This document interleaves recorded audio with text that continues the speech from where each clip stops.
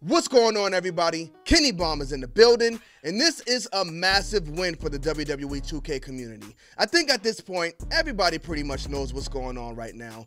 What's the status broke TOS, and 2K canceled Christmas on them. But after the response from the community, 2K actually walked back on this decision. Now, this is huge because based on WWE 2K24 and a lot of features we see in that game, it pretty much let us know that they do listen to the community. But I think the fact that they walked back on this decision decision confirms that fact. Now, a response like this does not happen just because people are making videos about an issue. People make videos about things they don't like all the time. I think a response like this happens when a community comes together.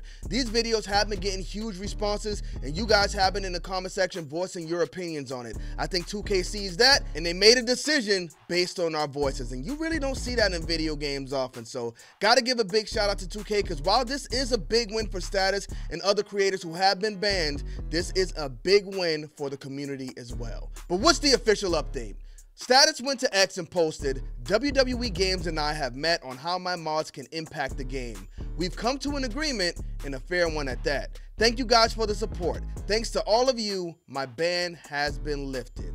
I am free. So free status, slide for status, the movement was a success. And he acknowledges the same thing here. He says, thanks to all of you, my ban has been lifted. 2K did not have to lift this ban. They could have stuck to their guns and said, sir, you've broken TOS time and time again. It's over. But instead, they took time to sit down with this man and come up with an agreement. And he says it's a fair agreement at that. So if he breaks TOS again, we can't blame 2K. Creators are going to have to use this as a wake up call because after this situation, we know if you break TOS, there is a chance they will cancel Christmas. But 2K actually responded to the situation as well, and it's actually a pretty good response that let us know why they banned them in the first place.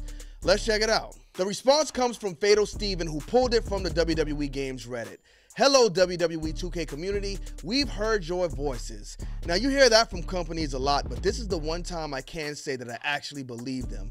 And wanted to let you know we've met with Status and had a productive discussion, touching on stability concerns and performance issues related to some of the popular mods.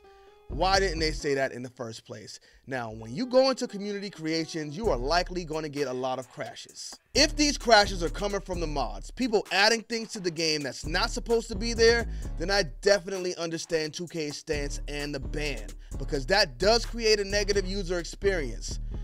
But why didn't we just say that in the first place? Why did they say he was uploading inappropriate content if it was content that was causing stability and performance issues? That makes a lot more sense. It goes on to say, as a result of this discourse, we are lifting status ban effective immediately, working with him to bring back some of his content which doesn't cause stability issues. Will we still be able to download those women in there? I, I got a lot of them I need, so even if not, shouts out to Status for putting them in there in the first place. And moving forward with him towards a common understanding. So that's another positive that we have coming out of this. I don't think 2K really wanted to acknowledge his work as it was before just because he was modding the game, but the guy makes great CAWs. So if he is working hand in hand with 2K to know what is acceptable, then I think that's only going to help him get bigger and really help benefit his future. We invite you all to move forward with us and continue to enjoy and celebrate the fun to be had in WWE 2K24. Finish your story. I'm glad 2K finally did finish this story and it didn't take them too long to do it. Now, some other guys were uh, affected here as well, but we look at this post from Marty M who says, it's so amazing the voice this community has. Truly unbelievable. Status is free, and none of my uploads the last few days have been touched. So I think it's a great sign for things to come and the relationship between the community and 2K as well. Free status worked. Now that is correct. And Marty makes some pretty crazy stuff, y'all. I think I saw like a jail. Look, boom, look at this. We got a graveyard.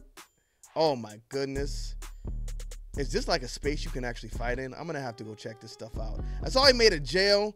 There was like a Waffle House. A lot of look at that. Things like this is insane, y'all. The community gets really creative. I just wish 2K would take the gloves off and let these guys cook.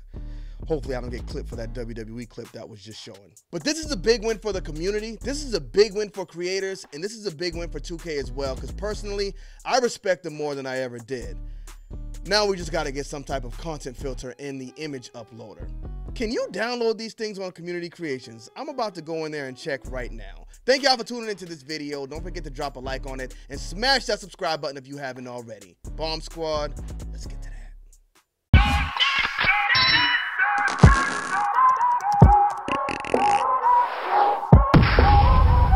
To the goddamn moon, get hipper.